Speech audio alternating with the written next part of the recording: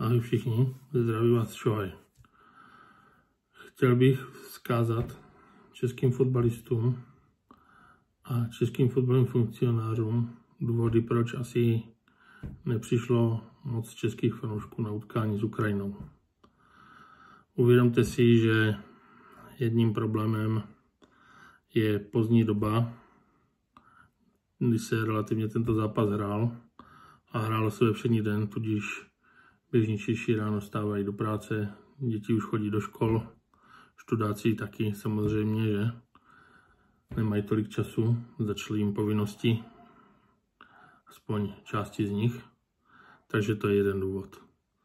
Pozdní doba a všední den.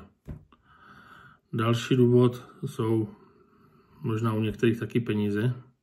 Sice nevím, kolik stál listek, ale něco to stojí teď eh, nějakou dobu tam jste, něco utratíte, možná něco chcete sníst, koupit si nějaký pití, ono to něco stojí.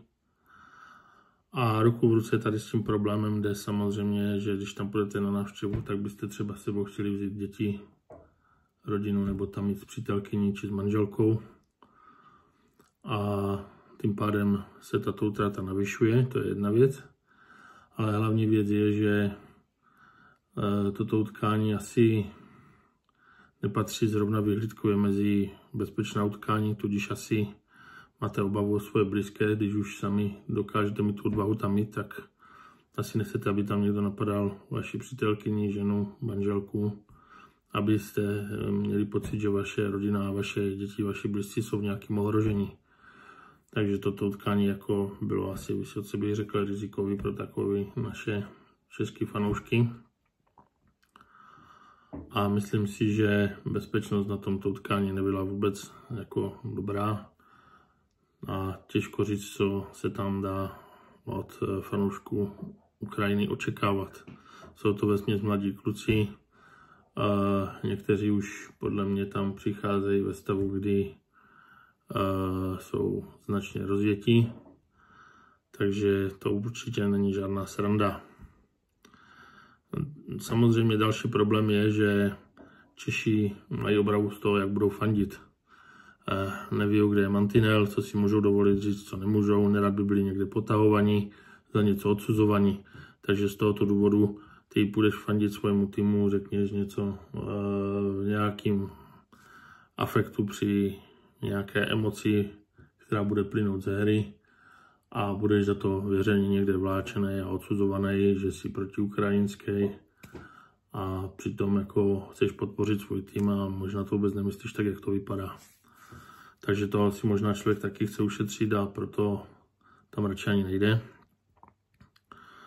A v neposlední řadě eh, poslední výsledek a výsledky Seura eh, taky jako ty fanoušky nenavnadili natolik, aby měli zájem se na ten zápas přijít podívat a očekávali určitě od Čechu lepší výkony. Takže si asi říkali, že jim to moc nestojí za to, to riskovat. Kdyby očekávali pohlednou hru a množství gólů prostě a jasnou převahu našeho týmu, která by tu podle mě měla být, tak by je to taky víc lákalo. Takže prostě atraktivita utkání je určitě taky důvodem. Ta bezpečnost si myslím, že je hlavní důvod a ta pozdní doba všední den. Myslím si, že ty peníze ještě by třeba někdy někdo nějak obětoval. Takže takhle máte na to pohled z druhé věci, ne z pohledu fotbalisty, jako je třeba pan Černý, či Souček a ostatní, ale jak to zase vidí normální čeští fanoušci, a co je pravděpodobně důvodem toho, že jejich účast nebyla nějak veliká.